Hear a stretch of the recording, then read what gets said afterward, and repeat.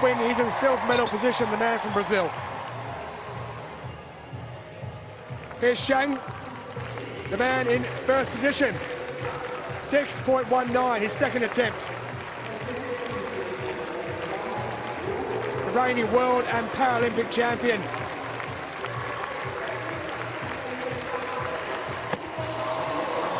Well, that is big indeed.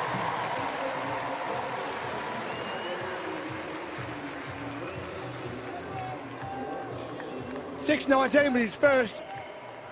He holds the world and championship record.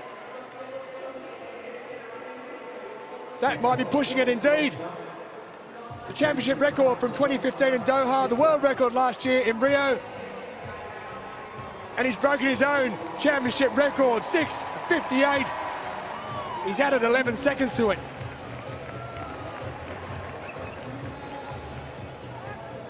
The main